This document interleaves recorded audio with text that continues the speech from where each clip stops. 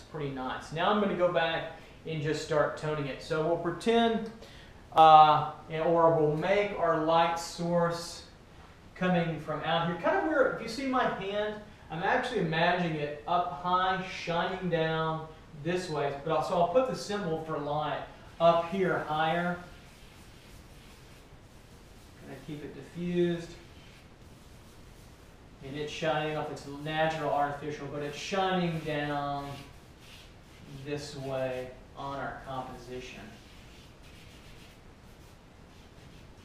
But again, it's pushed out somewhat more in front. So it's high, it's top high, and it's to the left, shining down on our objects. That means that um, our shadows will be to the right of our forms. So I'm going to start toning in our shadows. And I'll just go diagonal on this one. We talked about this in one point, about shading to the vanishing point, especially when I have areas of depth, I'll do that. Uh, here I'll just shade, I'll shade this one straight across. When I have a flat plane, sometimes I go straight across, sometimes I go at an angle, um, but rarely do. Well, you don't have a vanishing point, so that's probably the only way I'll do. I can go straight up and down for visual effect if I want. Through here. Now I have a plane here, so I can actually have two planes but I'll give light, I'll give the hatching marks back to this vanishing point. We have the light for that one. So here's the corner of that box. This, these are both parallel, so I'll just use that parallel line. Notice again how I've, I've butt my ruler to the edge. So when you're doing this, when you're shading, you can use like a B. If you're using graphite, nothing too soft or nothing too light. Maybe a B or even an HB is fine. If you're using color pencil, use your black color pencil. okay, so I'll just do this one diagonal. Sometimes it's come more comfortable for my hand to do it diagonal.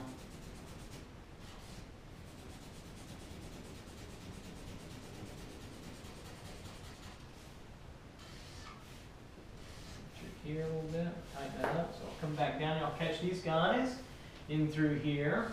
So I'm thinking about one, two, three step shading. The darkest plane is dark. The medium plane will be kind of the tone of the paper now, just to save time. And the lightest plane will be, will have light on it. So one, two, three step shading. I'll do a lecture, we'll have a lecture on light in forms. And we'll come down, I'll catch I'll catch this plane in dark, I'll catch this plane in dark, I'll catch this plane. Why? Because the light source is to the left, coming down to here.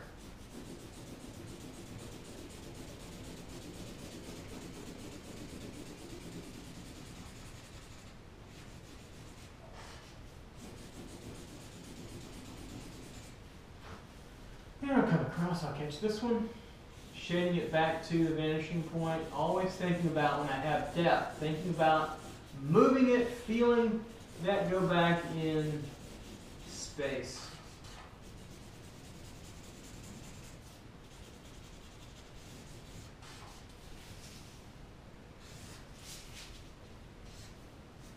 And I'm going to tighten this up and shade this back on over. Through here, there we go. And so you, you can now see the illusion start to really take effect. I need to outline this line here because we see through that. See through that space. Okay, I've got a few more boxes to shade. So I'm going to shade this dark, this whole plane here. I need to outline that. Here dark, this plane, this plane dark, but also underneath I'll probably shadow that dark as well. Now, we see through this box. I missed one. Did you catch me? I missed that. So we see through that. There's a donut hole through there. So we see through that in our, our drawing. So I missed that one. I had to darken that wall line where the wall, the right wall meets the floor through, through here. Okay, let me tone these in. Going back to the vanishing point. So again, I like to abut my ruler to one edge, and so I can just run it in there. I can move my hand faster but it keeps the edge tight. Here I kind of just have to go back and tighten this right side edge a little tighter. All right, so we're continuing to shade further using a mid-tone value here. Tighten up my box and give it light. Now you don't have, you probably don't have a toned piece of paper. Now what you could do with your forms, um, the light side, which will be the top, that would be just the white of the paper. The uh, number two part of the form, like if this was uh, over, over maybe here, one, two, three step shading, this would be just a line of the paper. This would be a lighter, darker value than that, darker than here, and this would be the darkest over here. So we'd have one, two, three step shading. Hopefully you can see that. If not, then I just wasted your time. So, oh well. Okay, so now I'll shade this area. I'll just do a diagonal underneath there, and then I'll shade. This plane corresponds to that plane, which corresponds to these. And so these get a shadow tone as well. This plane here. All right, so we've got that. Okay, so now we have left in my drawing is to add, throw a little light on the objects. So let's do that. I'll do that, I'll show you. Okay, so light source coming up here. Here's our artificial light or our sun. Diffused down a little bit, so it's putting its rays out through here. And so here's our, we'll throw a little light. I don't bash it light, just, just start to lightly put a, a little glossing tone on that. Part of this might be in shadow, it might catch just a little light through here and over.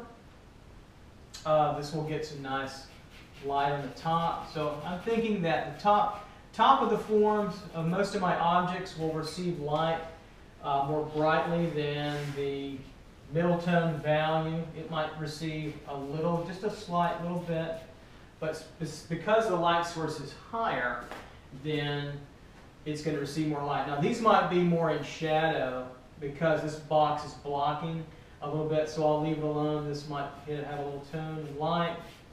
So we're just playing with, playing with imagination in through here. Okay, we have this. Catch a nice edge in through here. Edge over through here. Then I'll shade back to the vanishing point some. Maybe down through here. So this will be hotter and brighter on the top than the side. It gives you a nice sense of light. I'm just thinking about the rudiments of light for now. Here, then across, maybe a highlight there, a little bit of light across the ball, ball form here. This will get a little, get a little brighter. Okay, I'll put some tone down on this box here.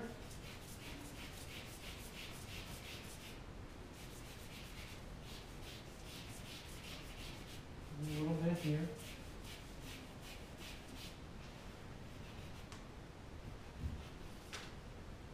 There we go. Uh, Give a nice kind of crisp edge sometimes and make it look really machined out somewhat. Don't put, this might, this top actually might be more in shadow, maybe all of that. So I'll leave just a light here, maybe just a touch in the edge, just to jazz it up a little bit. We're just playing with imagination now, and we just want to give our forms a little light. So I'll go ahead and actually put just a little light on this one too as well. And in this plane, I'll give a little light to our boxes. Contrast of light and form.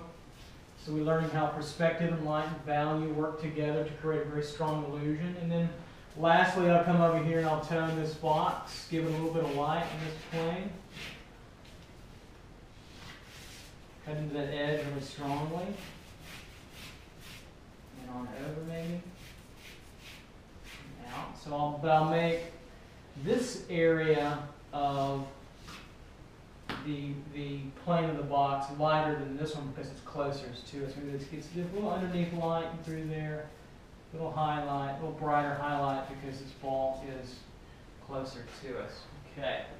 All right, so I think that does it.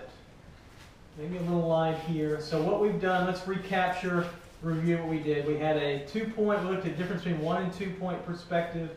We, we practiced that together. We put boxes in the eye, eye level, sky plane, ground plane. We uh, created a two point interior, multiple forms, created the illusion of deep space, used foreground, middle ground, background. Hopefully you learned a lot in this particular lesson. There's a lot of information packed into it, and we can carry that over to our next lesson, which will talk about ellipses and cylinders in one point, uh, maybe in two point, and then we'll also look at three point perspective and how illustrators, artists, comic book artists use three point perspective to create very dynamic, extreme viewpoints of human figures and objects. Okay? If you have any questions, email me, email me your instructor. Good luck with it. Hopefully it went well, and I'll see you next time. Bye bye.